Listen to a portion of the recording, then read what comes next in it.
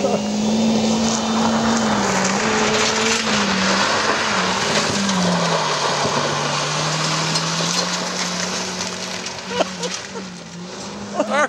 tror det var fryktelig morsomt. Rett og slett fryktelig morsomt. Og så